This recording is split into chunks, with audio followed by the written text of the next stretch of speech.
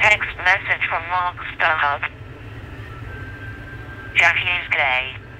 Milk is ghost. So is Charlie not. We've been